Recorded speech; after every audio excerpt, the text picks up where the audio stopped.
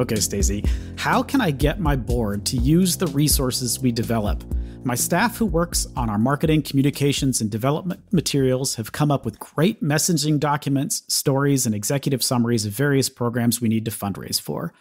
I provide this to my board and have done so repeatedly when someone mentions needing something to distribute to their friends. For some reason, this isn't sticking.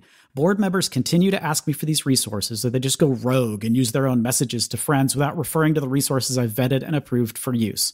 What can I do to shift this frustrating dynamic and save all of us some time?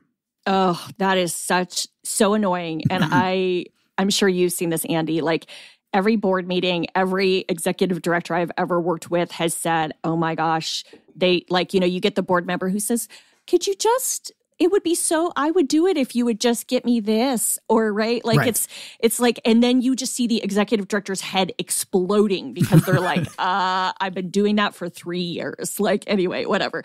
Yeah. so so yeah like oh this makes my blood curdle because it just stinks um and it's such a waste of time. But you know this is where i say executive director enlist your board chair. When you're having your monthly communications or however often you're communicating with your board chair, talk to them and say, hey, like this is a pain point and there's only so much like I can continue to do and my staff can continue to do and have it fall on deaf ears. So like will you either remind people I mean, and the ED could remind them too, right? But like obviously the reminders are not helping or like someone's forgetting. So so like I think it gives the board chair an opportunity to say, "Hey, like when someone asks for that, we actually have that system in place and um but but let's open this up for some discussion. Is is like like a like what why are you not using like why is this not being used because we hear of a right like there's the question yeah because because maybe it's something really simple, like that could be changed. Um, but that also requires monitoring because I've also seen that go rogue where then someone said, like every board member says, Well, I need to be communicated with in a different way. I need you to text me it. I need you to email it to me.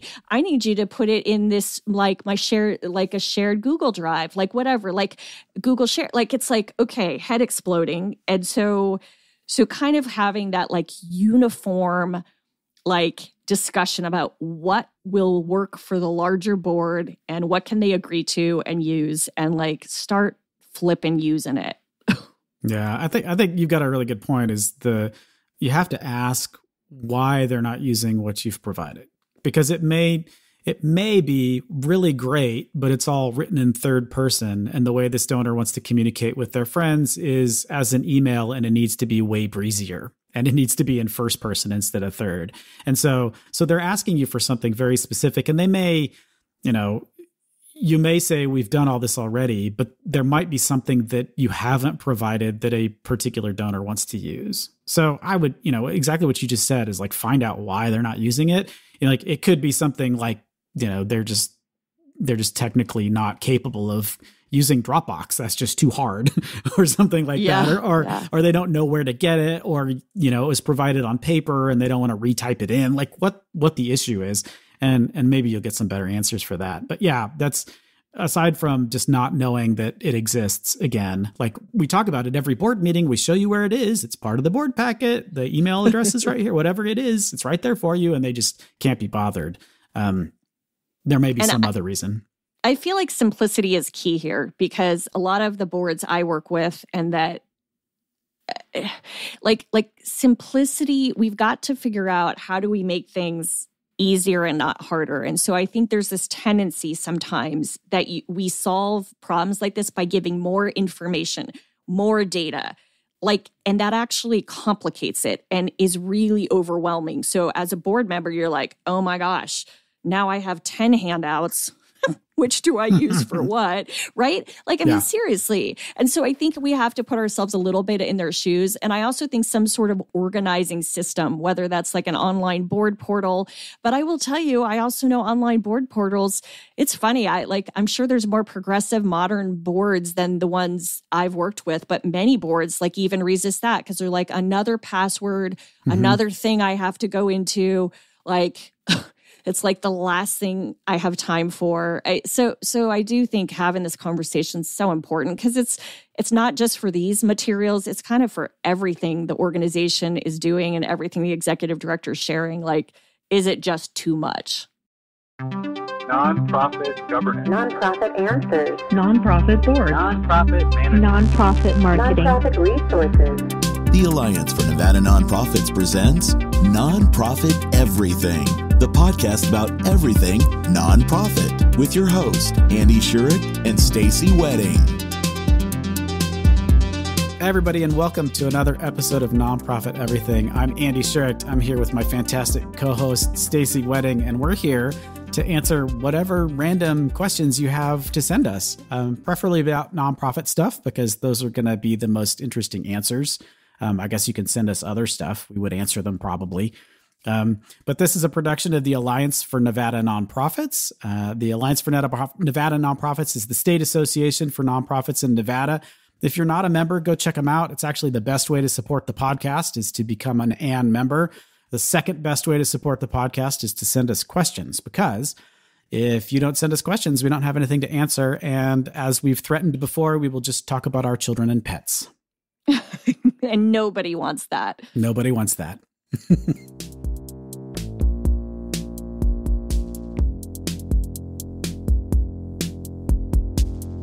different funding agencies and each grant application have different requirements.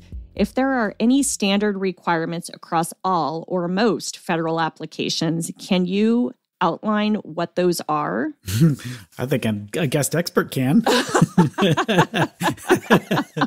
A perfect, perfect example of things that things that we want other help on, right? Yes, I agree. Certainly not my. Uh, you know, there's traditional grant applications that we know have all your standard stuff, yep. but but I don't I don't know enough, right, about yeah. some of the you know the federal applications and what are consistencies so it's a great question especially given some of our recent um, podcast episodes with Miles from Nevada Grant Lab and just some of the I know federal money coming down. I think this is on everyone's mind. So uh, let's let's find a guest expert, Andy.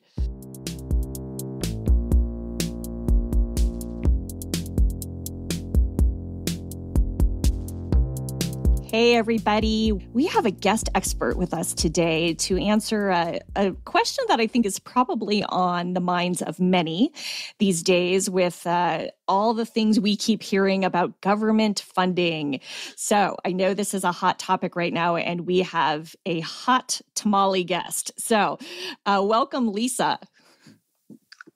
Thank you. So happy to be here with you today. Yes, it's great to have you. So I I will just share that Lisa Ruiz Lee is uh, just kind of an expert in so many things and uh, has had a lot of lot of different experiences and background serving the nonprofit sector, working with with a lot of government agencies, making collaborations and connections for everyone, and just using her expertise to to help make everyone stronger. And she she just does does it with a lot of grace and humility. And it's been my pleasure to uh, know Lisa for quite some time and, and was so excited she was willing and able to be our guest expert today. So, Lisa, do you want to share a little bit more about yourself for our listeners? Sure, I'd be happy to. So, I started my career in public service and worked for local government for Clark County in Nevada for about 20 years and ended my career there as the director of Nevada's largest child welfare agency. And from there, I decided that I really wanted to make a difference in my community working with nonprofits. I had had such a great opportunity to see the tremendous work that they do while I was working in local government and knew that my skills could really bolster the work that they do, which would improve the community for everyone. So I spend part of my time today working with nonprofits in the Nevada community, but I also spend a large part of my time working for Action for Child Protection, which is a national nonprofit that specializes in child welfare.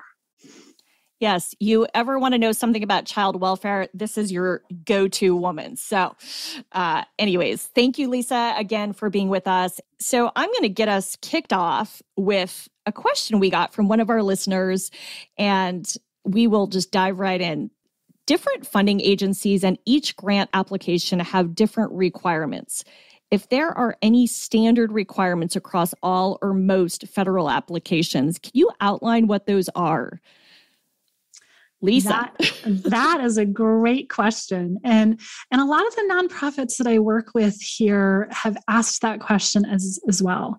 And I would love to tell you the answer is yes. the applications are all the same because certainly that would make everyone's lives much easier. But the reality is is that they're not. They're all completely different. They have components that overlap that are similar in nature, but you'll never find two applications coming from two different agencies that are the same. So, the best advice that I can give nonprofits is to prepare yourselves to deal with the nuances um, and to start to pull your story together so that you can break it apart as the various elements are needed, depending upon what the applications are asking for. So, it's interesting to hear you talk about the story and I would love for you to elaborate because I will I will share that I I know many nonprofits hear that advice with individual donors, with private funder grant opportunities. And I think there is a, a sense or a mindset that that is not at all what you need to be doing in government grant applications because particularly federal but but any of them for that matter because it's all about facts. You don't need a story. You don't need anything compelling. So can you elaborate a little bit on what you mean by that so I think the important thing when you're dealing with government grant applications is to find creative ways to interweave the story of your organization, your mission, your vision, your values, your service delivery, and combine that with the facts of the work that you do so that you can address appropriately how you are working towards solving a problem or addressing a community wide need. And so when I say tell your story, that's really what I'm saying is what is important about the work that you do and how you do it? How do you make a difference? But come to the table with evidence of that. Be able to tell them the work that you're doing and to quantify the outcomes that you achieve. And there's a lot of other components to that as well. I mean, when we think about our story as a nonprofit, sometimes we don't think about the expertise that we have and bring to the table. So, part of your story is your internal capacity. So, what does your resumes look like for your staff and your employees? Do you have biographies pulled together that you are prepared to share? What do we know about your administrative structures? What do you know about your administrative structures that allows you to document how their sufficiency will allow you to manage government funds? All of that is part of your story. How do you document your outcomes? How many people are you serving? When you serve them, what are you achieving? So thinking concretely about the ways in which that you deliver services and making sure to wrap those into the application as you can. Is it a fair assumption that it should be less touchy feely and more um, everything you said could be done in two ways, right? Or multiple ways, but you could have a very soft touch side to it that's much more uh, qualitative, much more anecdotal, and then you could have a much more, uh, you know, it just facts based. Here's here's the facts, right? Like we've done this, we have this expertise, we have these outcomes. So have you seen a, a, mix or a blend that tends to work well? Um, or or is that just kind of a misconception that you shouldn't you shouldn't have anything touchy feely in a government grant application? I i think that touchy feely actually is appealing to a lot of folks who are reviewing government grant applications. So you always have to put try to put yourself in the reviewer's seat. Like what is it that they're looking for? We know that they have very hard and fast matrices that they use when they assess those applications. They're looking for very specific things.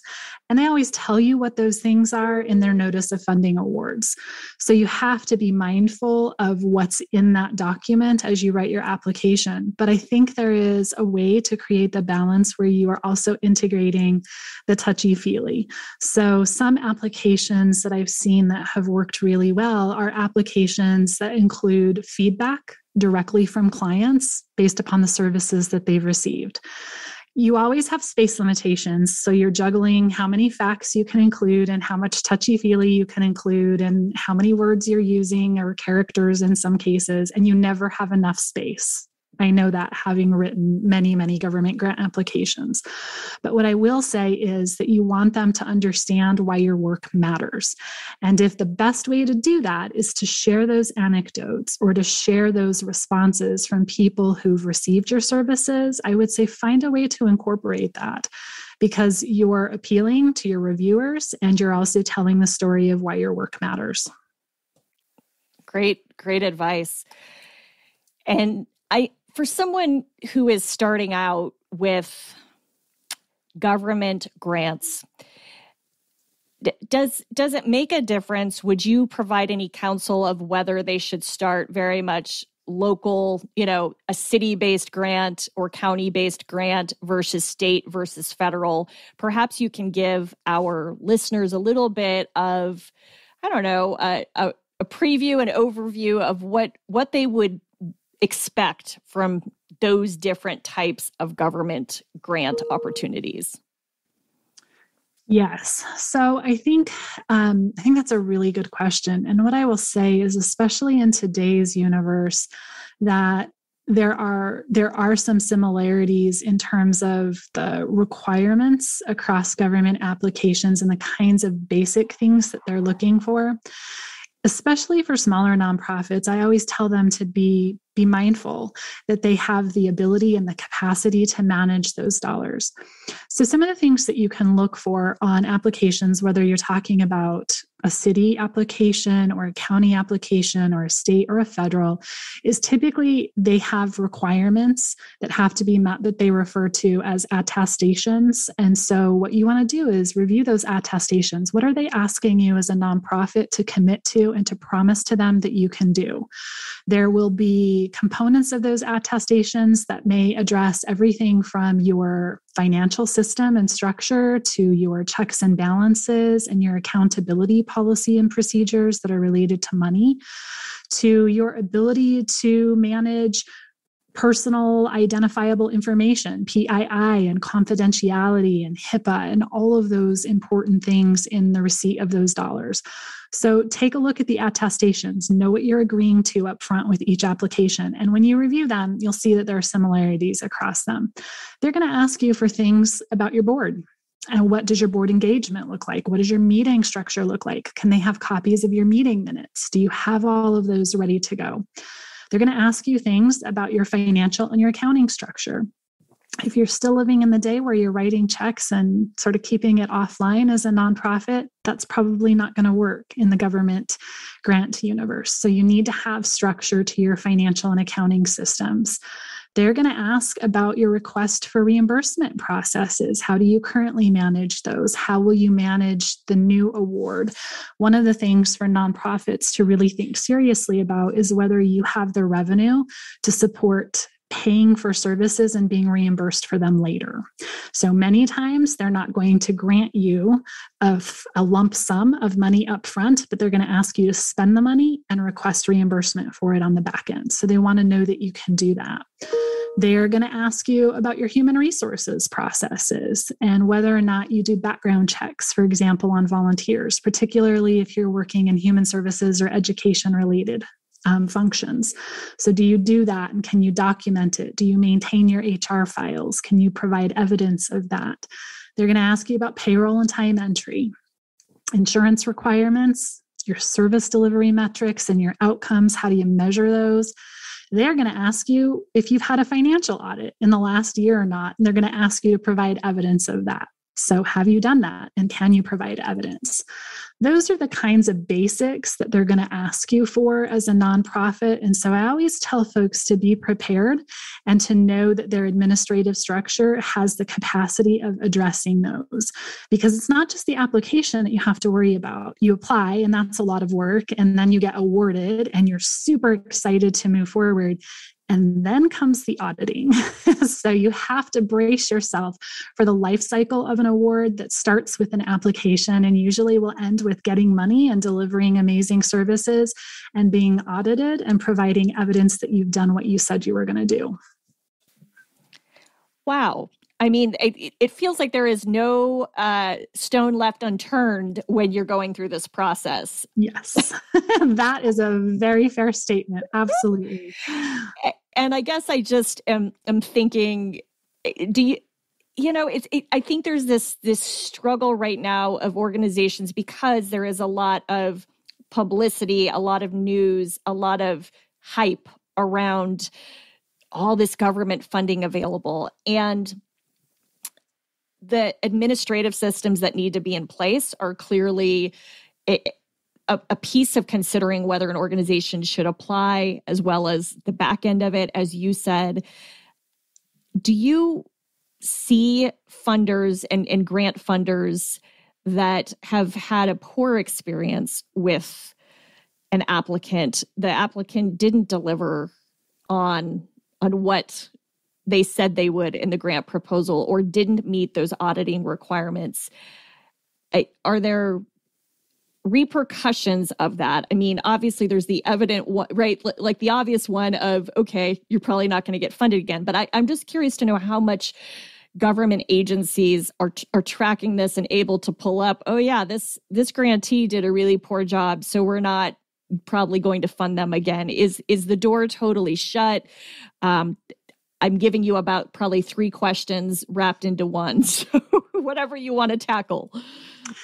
So I think um, I think that is three questions in one for sure. But. I think that the answer to that question is yes. There are repercussions, and so I think a lot of times. Um, you know that there there is sort of this thought out there that government doesn't hold service providers accountable well.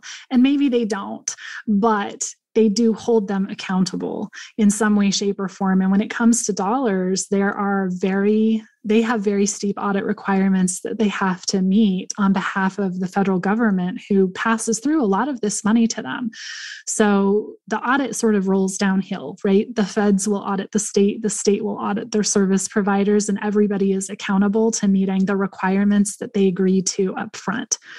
And if the state finds or any any awarder of grant funds finds that the providers that they've funded are not meeting those requirements at any point in time, they have the ability or the option to um, either attempt to recapture those funds or to just simply cease providing them, which can be a big hangup for for nonprofits who are providing direct services and who are counting on those funds. The other piece of it is keep in mind that I said a lot of these funds are paid for after the fact, not before the fact. So, in some cases, as a nonprofit, you may have already spent the money and you may need it to pay your bills. And if the state audits and finds that you are non compliant, they don't have an obligation to give you those funds that you've already spent. So it really can create a financial nightmare for nonprofits. I think the worst case scenario is is that you have a government agency who says you don't meet the requirements and we're going to note it and you may not ever be eligible for these kinds of funds again. And it does happen and they do talk to one another. That's the other thing. I think a lot of times we bank on the fact perhaps that government agencies don't talk to one another. Sometimes they do and sometimes they communicate really well. So you just want to make sure that you're doing your very best, that you know up front what you're getting into, that you have the capacity to manage it and then that you can deliver. And one other question tied into this and and the differences between a private philanthropy approach and a government funding approach relationship building as we know is is oftentimes a cornerstone of private family foundations corporate foundations and and building that relationship and seeing if your nonprofit is a good fit for their interest and their priorities is such a thing even uh, does something like that happen within government? It feels like it's very tough to actually get a human being when you go through a government federal right. state any of them it's it's it's tough. Sometimes they'll give they're nice enough and they'll give you a name right? Hey here's a contact but but it, it feels that because of all the rigid standards it feels like it is less about relationship building and more about absolutely what you put in that proposal and what your past performance has been is that a fair assumption I think it's a, a very fair assumption. I think that your past, you know, that you're that what you put in that application is what they read, and it's just literally what they assess and what they grade and rate, and what determines how you score and scores determine who gets funded right? They work their way down from the highest to the bottom of the pot of the money and there you go. Um, and so the application piece of it really matters a lot. But I will also tell you that I don't, I wouldn't want anyone to underestimate the value of relationships even in the government funding market. So, especially for new nonprofits that are just getting started, there are a limited number of project officers who work for the state and the city and the county, and even for the feds, depending upon what agency you're applying for. So, you do have an opportunity to get them to get to know them as you receive the awards and really what you want to do is you you want to make them your champion so you want them to see the good work that you're doing and the successes that you're having. And it's not because they're going to be able to give you any preferential treatment going forward, but because you want them to be able to advocate for you.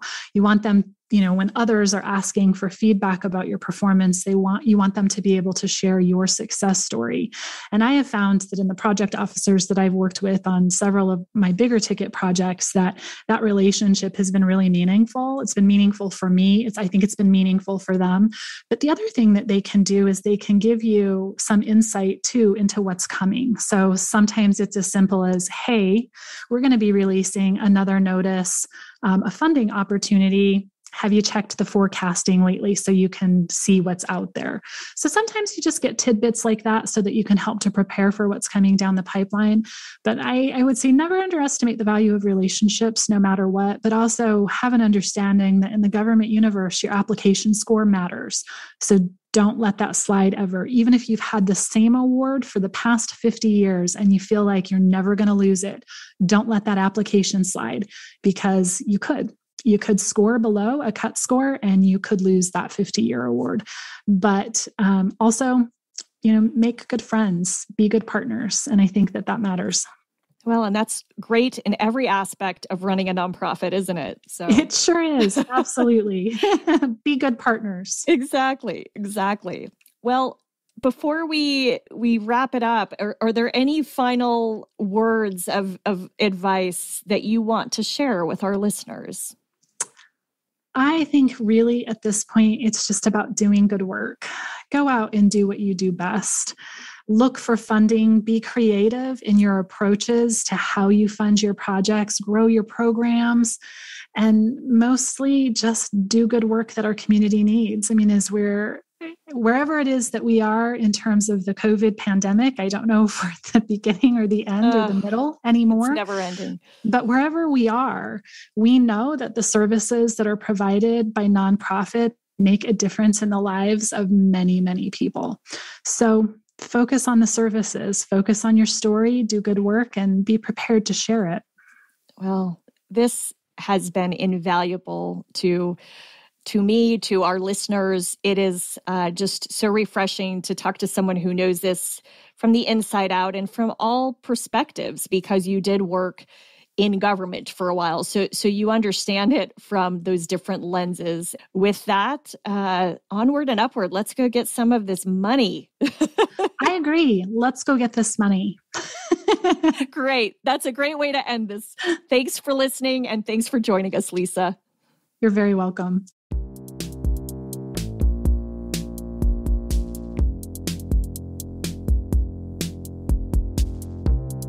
You made it. You've crossed the finish line of another episode of Nonprofit Everything. And now, while you have that energy that came from this podcast, I want you to do one thing. I want you to just share it. Share it with one person, one person that you know in your work world, in your life that you think might find this interesting, might find one of the questions you just heard interesting. Just let them know that we exist. Nonprofit Everything is there. We're here to answer their questions or bring in a guest expert who will. So uh, we thank you so much for being our loyal listeners. And uh, the best gift you can give us is asking us questions and sharing this with your friends and colleagues and maybe even your dogs, because I love dogs. And hey, the dogs don't talk back, they just might yap back. Anyways, and and final thanks to ANN, the Alliance for Nevada Nonprofits, for uh, making this possible. As uh, you know, it's a production of of ANN, and ANN has uh, been on the journey with us since the very beginning. So thank you, and look forward to catching up soon.